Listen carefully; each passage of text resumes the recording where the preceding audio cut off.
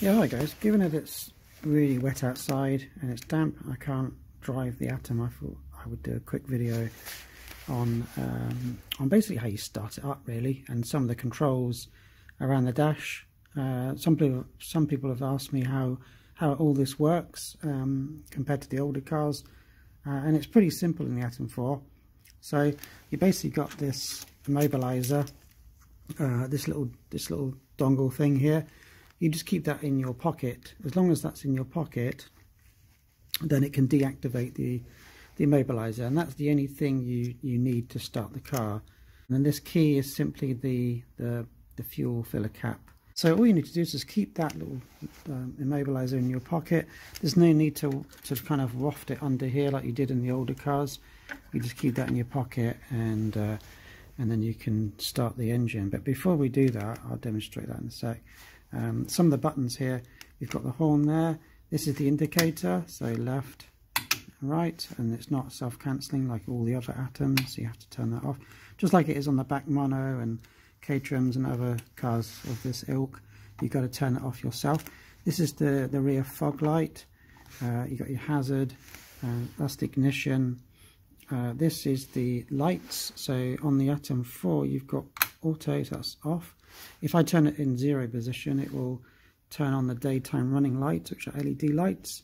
Uh, and then if I, which is full full uh, full running, if I turn it onto a, to auto, um, it will automatically turn my lights on, my main beam, the halogen bulbs on this car, it's really, really bright.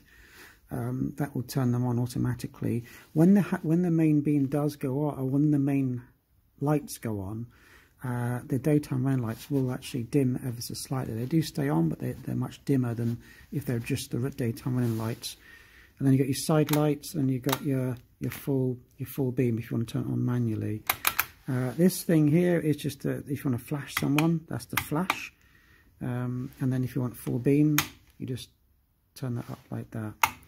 Uh, this little flashing red light is the immobilizer. It means it's activated, so no one can just come in here and drive off in the Atom without the uh, without this immobilizer. So this is the key. You must guard this. Um, and then you've got the start button there where you hold, you just press and hold until the engine fires.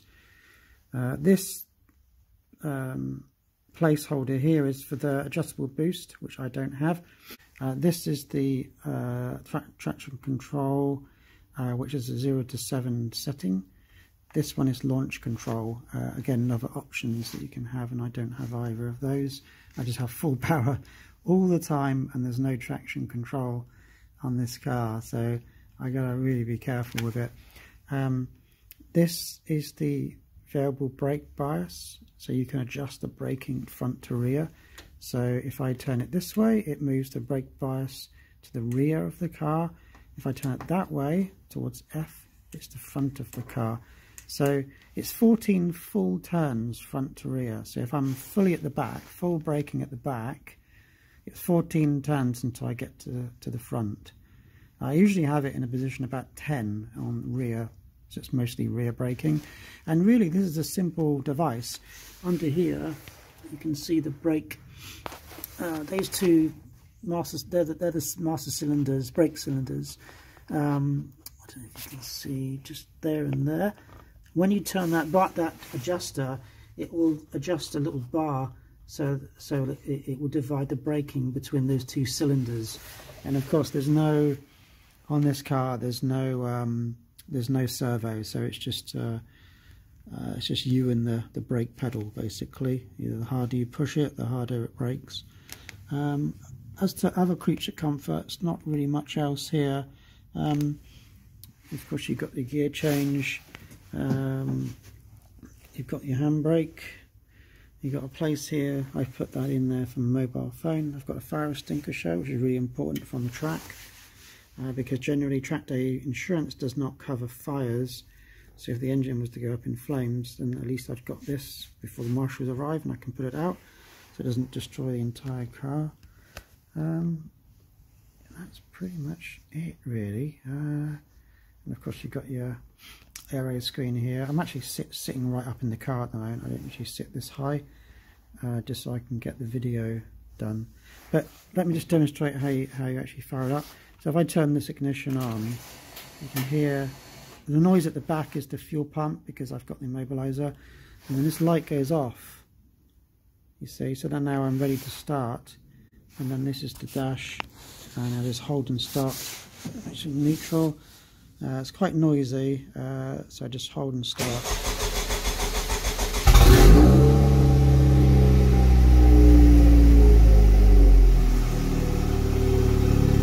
if you can hear me, but then settles down to about 900 RPM, something like that.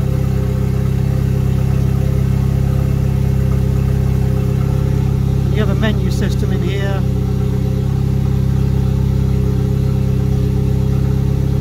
To turn it off, you don't press the start button, you just press the stop button here. As soon as you press the stop button, uh, now you can hear me better, I'm, I'm sure. Um, as soon as you press the stop button, then it turns the dash off, completely kills the the power.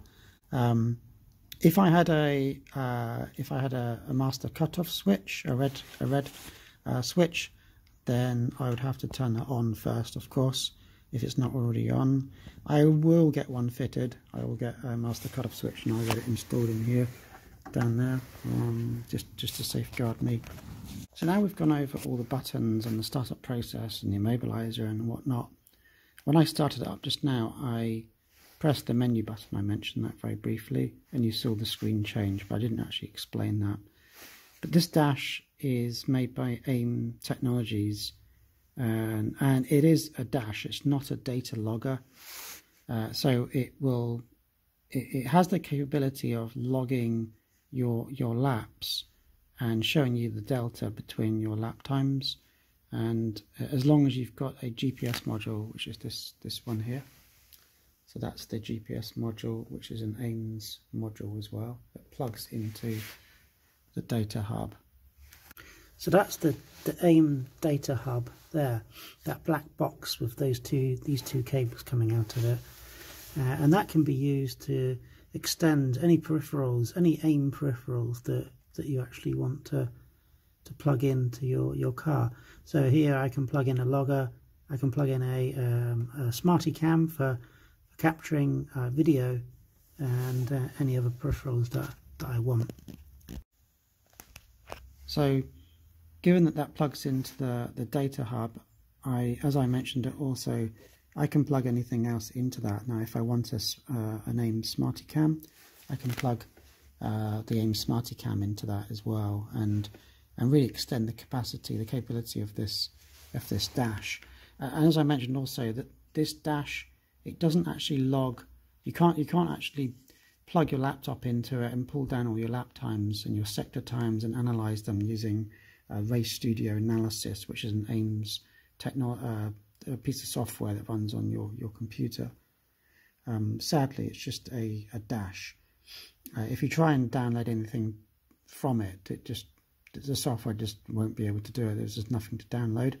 So in order to turn this dash into a logger, you actually have to buy another piece of technology uh, called the Strada logger. It's an AIM Strada logger. It's a, it's quite expensive. It's about eight hundred pounds, I think.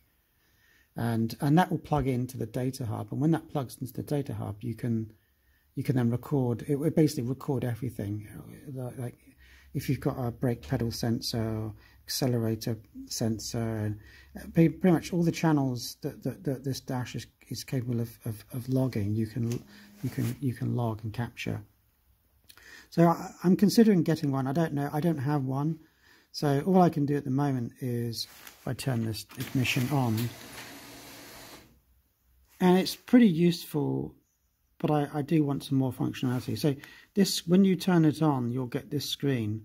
Uh, this is the day, the daytime screen. So you've got your uh, your oil pressure here, uh, your RPM counter here, your miles per miles per hour or kilometers per hour. You can change it to kilometers quite easily in the settings screen, and your uh, oil, uh, your, your water coolant temperature. I am talking to Ariel about having a the oil temperature on here as well because that's the only thing really that's missing um, and if you press this button here at the bottom you then get this this is the race screen uh, the track screen so here you've got your last lap uh, the one in the middle is your um, is your uh, delta. So if it's if it's better than your your your all, all, your laps in, in that session, then it will come up as a minus. Otherwise, it come up as a plus. You can see, and then this one is your best time, so you know what your best lap time is.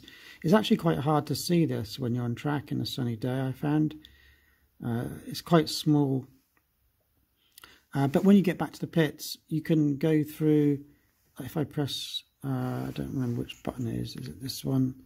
Yeah, so you can only ever have a total of te seven test sessions, and then when, on dates rather. So when you go into these, it basically logs the uh, each line item um, is a separate day, and then when you go into that, you'll see all the different sessions for that specific day. Uh, but but once you reach seven, so in other words, seven days of driving, you lose the, the oldest. So that data then is gone. I don't know if there's any way of getting it back. So you can see here Snetterton, I don't know why that's been selected actually, that's weird because I wasn't at Snetterton on that date. Uh, but Snetterton 300 split is my own custom track set up uh, with lots of different splits. But yeah, so it's it's okay, it's not perfect because it doesn't allow me to look at my my, my lap times um, to, in order to you know post post uh, the track days I can see where I've been going slow, where am I going fast, and um, you know, and my deceleration and so on. So uh, another thing I'm considering instead of buying the the Strada logger to turn this into a data logger is buying the the Garmin Catalyst device that just sits in the car has a camera. Uh, if you're not familiar with that, look it up. It's pretty pretty cool. It's almost like a driver aid, and it will give me my lap times and it will tell me where I'm slow and, and it will help me as I'm driving. Slightly different tool to this.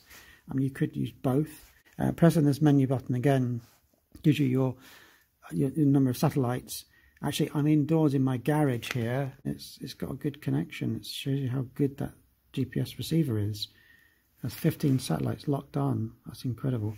So if you're at a track, um, it will show up here, and you can select whichever customized track that you've set up, and use Race Studio 3 to do that. Yeah, so as there's no tracks nearby, if I press this button, That there's no tracks nearby. So uh, if I press the button again, I get the set settings screen. I can change all these settings. Pressing it again goes back to the, the main driver screen. Uh, when the car's turned on, you'll notice that there's a there's a label in the middle here which will tell you the gear select gear selection.